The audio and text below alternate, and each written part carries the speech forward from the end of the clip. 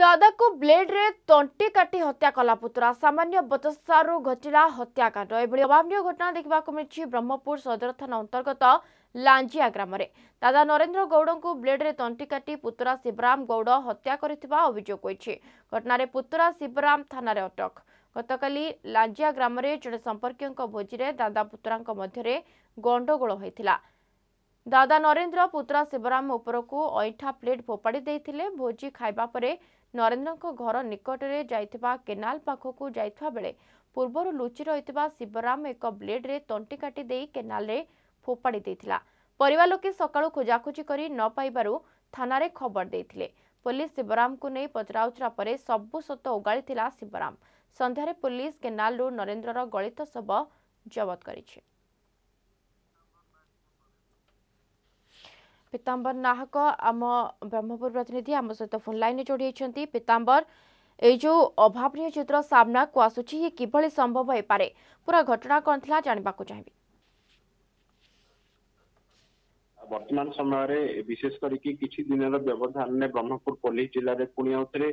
ଏମିତି ହତ୍ୟାକାଣ୍ଡ ସାମ୍ନାକୁ ଆସୁଛି କାହିଁକି ନା ଯେଉଁଭଳି ଭାବରେ ପୁରା ଘଟଣା ଏମିତି ଥିଲା ଯେ ଯେତେବେଳେ କି ଦାଦା ପୁତୁରା ଦୁହେଁ ମିଶିକି ଭୋଜି ଖାଇବା ପାଇଁ ଯାଇଥିଲେ ଜଣେ ସମ୍ପର୍କୀୟଙ୍କ ଭୋଜି ଭୋଜିଖିଆରେ ସେମାନେ ମଧ୍ୟ ସାମିଲ ରହିଥିଲେ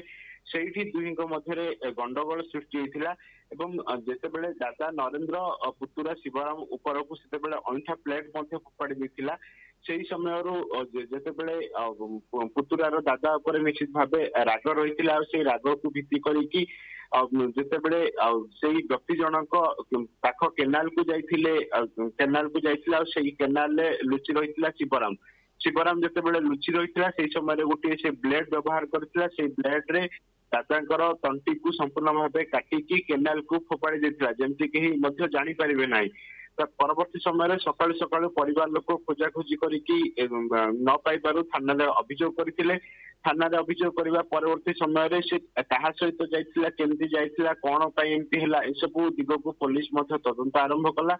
ଏବଂ ଶିବରାମ ଅର୍ଥାତ ଯିଏକି କି ପୁତୁରା ଅଛନ୍ତି ଶିବରାମକୁ ଡାକିକି ପଚରାଉଚରା କଲା ଖୋଳତାଡ଼ କଲା ତା ପରବର୍ତ୍ତୀ ସମୟରେ ଶିବରାମ ସବୁ କିଛି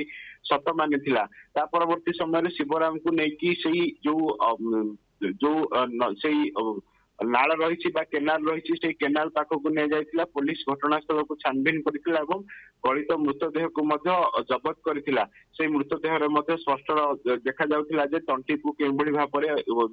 ଯେଉଁଭଳି ଭାବରେ ତଣ୍ଟି କଟା ଯାଇଛି ବ୍ଲେଡ୍ ରେ ଆଉ ତାର ଡେଡ୍ ବଡି ମଧ୍ୟ ବାହାରିଛି ଆଜି ତାହା ଶବ ବ୍ୟବଚ୍ଛେଦ ଗୃହକୁ ମଧ୍ୟ ପଠାଯିବ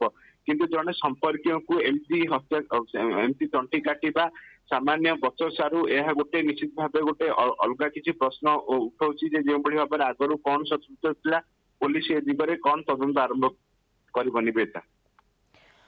अर्थात तो पीताम्बर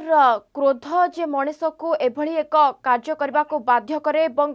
मनीष एत हिंस हो पाए ये दादा पुत्र घटना ही स्पष्ट बारी हो तेज शिवराम को बर्तमान पुलिस अटक रखी पचराउचरा कर